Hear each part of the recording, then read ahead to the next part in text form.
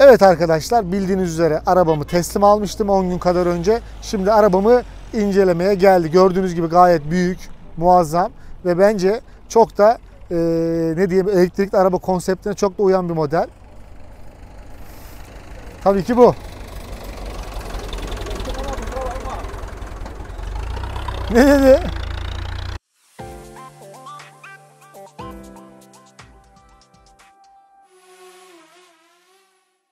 Evet arkadaşlar Tesla ile alakalı çok video izlediğinizi biliyorum. Farkındayım ama ben size herkesin anlatmadığı şeyleri anlatmak için kamera karşısına geçtim.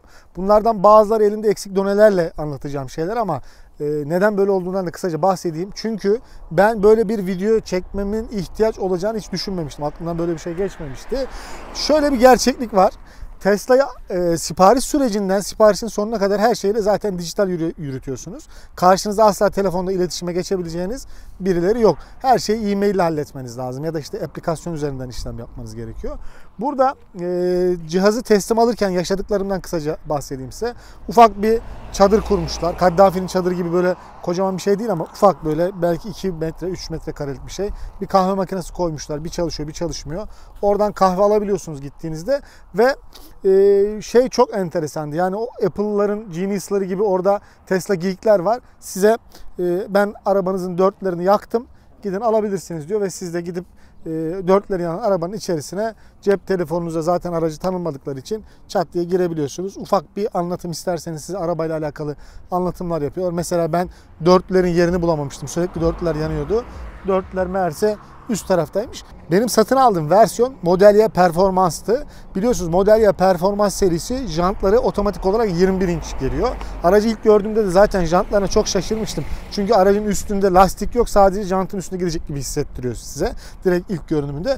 Ve bunun da bir dezavantaj olduğunu 20 yıllık bir şoför olarak konuşuyorum yeni öğrenmiş olduk. Yani bir kere daha bir bilgiyi bilgi hazinemize ilave etmiş olduk. Şuradan detaylı bir şekilde size göstermek istediklerim var. Evet performans serisi almalısınız ama neden 21 inç almamanız lazım? Gerçi bu versiyonda standart geliyor ama bakın öncelikle jantlarımızda meydana gelen çizikleri gösteriyorum. Bunların birçoğu girdiğim e, tümseklerde meydana geldi en önemlisi daha arkada onu da göstereyim. Mesela bugün girdiğimiz bir tümsekte. Buraya gelirken girdiğim bir tümsekte başıma gelen bir şey var onu göstereceğim. Şurada belli belirsiz bir iz var ama lastiğin üzerine oturması sonucu e, çok hızlı bir şekilde yere temas edebiliyor. Diğer taraftakini de gösterelim. Çünkü oradaki daha derin. Bakın burada girdiğimiz tümsekte çok da hızlı girmemiştim açıkçası. E, şurada lastikte bile bir yarık oluşmasına neden olmuş. Yani biraz e, tümsekli yerlerde ya da e, işte nasıl diyeyim onu stabil olmayan, düzgün olmayan yollarda bunları maalesef bu arabayı kullanırken biraz daha fazla dikkat etmeniz lazım. Bunun haricinde arabayla alakalı size anlatmak istediğim birkaç şey daha var. Hemen şimdi onlara geçelim. Arabayla alakalı size bahsetmek istediğim şey çok teknoloji sever biri olmama, hatta bulaşık makinem, buzdolabım, ne bileyim çamaşır kurutma makinem dahi Wi-Fi ile cep telefonundan kontrol etmek istediğim için böyle son teknoloji olmasına rağmen ki arabayı da bu yüzden zaten e, sıraya girerek aldım. E, arabanın bu şekilde her şeyinin dijital olarak tablet üzerinden yani şuradaki tablet üzerinden kontrol ediliyor olması açıkçası biraz bana böyle Terminator filmlerini anımsattı. Yarın e, çok basit bir örnek vereyim. Bir sokağa çıkma yasağında devlet eliyle arabalarımız mesela çalışmaz hale getirilebilir mi diye açıkçası sormadan edemedim. Böyle bir tehlikesi var. Yani her şey başka birinin kontrolünde bir gün geldiğimizde sabah uyandığımızda arabaya oturduğumuzda arabanın çalışmadığını görebiliriz. Böyle bir tehlikesi var. Ama bunun haricinde o kadar tatlı ki yani her şeyi şuradan menülerinize giriyorsunuz. Tık tık tık tık tek ayarla yönetebiliyorsunuz. Belki de benim hayallerimin e, arabası.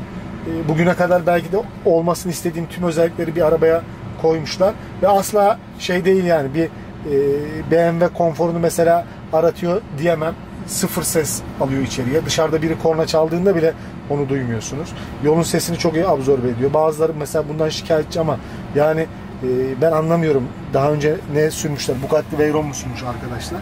Bir de videolarım arasında Instagram'da e, bunun 0-100 testini böyle arabada 3 kişiyken çektik.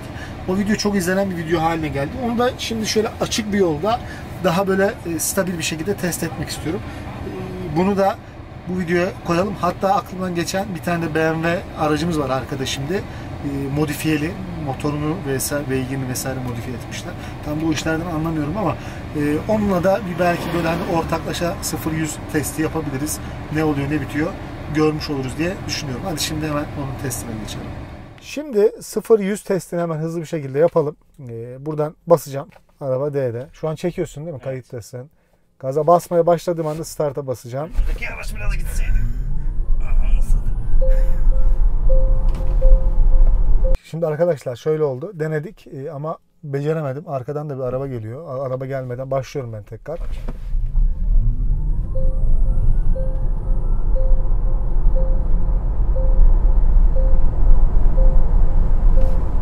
150 gibi oldu ama 0 150 yazarız olur mu? BMW'de de şimdi aynı testi yapacaklar. 0 yüzünün ne olduğunu göreceğiz.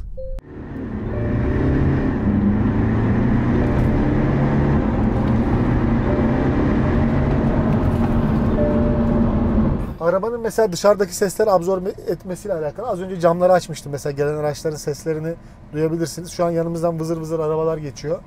İçeriye hiç, hiçbir ses gelmiyor. Hatta şöyle yapalım. Klimayı da mesela kapatayım. Hiç arabanın bir motor sesi belki hafiften duyulabilir ama onun haricinde gelmiyor. Bir konuş bakalım. Bir konuş. Bir şeyler söyle. Bir, şey... bir şeyler söylüyor mu mesela? Görünüyor mu kameraman arkadaş dışarıda? Görünüyor. Bir adın ne? Bir konuşsana bir. Duymuyor ki. Bir, şöyle bir şey var. Dışarının sesinin gelmediği gibi içerideki sesi de dışarıya gönderemiyoruz. Mesela hızlı bir araba geliyor şuradan. BMW geçecek. Bir geçsin bakalım. Sesini duyacak mıyız? Yani çok da şey değil yani hani böyle duymakla duymamak arasında. O yüzden ben e, çıtaları olmamasına rağmen bu ses e, ne derler yalıtımını gerçekten çok beğendim. Daha önce bindiğim arabaların hiçbirinde böyle bir ses yalıtımı yoktu. İşte bunlara premium marka dediğimiz Audi'ler, BMW'ler de dahil. Bence e, ses yalıtımı açısından çok başarılı bir araba. Evet arkadaşlar sizlere uzunca zamandır sormak istediğim ufak bir konu var. Bununla alakalı yorumlarda düşüncelerinizi ve fikirlerinizi paylaşırsanız gerçekten benim için çok sevindirici olur. E, biliyorsunuz droncuyum. Dronları çok seviyorum. Drone kullanmaya aşığım diyebilirim. Ama bununla birlikte de son çıkan teknolojik ürünleri de incelemek ve bunları da yine sizlerle e, dürüst tarafsız şekilde paylaşmak istiyorum. Bununla alakalı ne düşünürsünüz? Yani gerçekten kanalımın adı Doktor Drone ama e, teknolojik içerikli videolarda yani bu teknolojik ürünlerde de incelemeler yapmalı mıyım, yapmamalı mıyım? Görüşlerinizi benimle paylaşırsanız gerçekten çok mutlu olurum. Çünkü kanalıma biraz daha zenginlik katmak açısından bu şekilde bir yol izleme gibi bir niyetim var. Evet arkadaşlar dünya malı her neticede dünyada kalıyor. Bunu da dikkate alarak benim gözümden Tesla'nın sadece bir tablet bilgisayardan ibaret olması jantlarında yaşadığım sıkıntılar ve teslimatının çok böyle saçma ama benim çok hoşlandığım, çok basite indirilmiş şekilde yapılması vardı. Araba bundan ibaret. Çok da abartmaya gerek yok. Tek bence artısı e, sıfır yüzünün çok hızlı olması. Bunun haricinde arabanın diğer arabalardan ayrılan tek özelliği her şeyinin dijital olması. Videomu beğendiyseniz kanalıma abone olmayı, videomu beğenmeyi ve aklınıza takılanları mutlaka yorumlarda sormayı ihmal etmeyin. Yine Instagram'dan da takip edebilirsiniz. Alta bırakıyorum. Instagram'dan da yine aklınıza takılanları ve merak ettiklerinizi sorabilirsiniz. Her daim cevaplamaya çalışıyorum. Görüşmek üzere.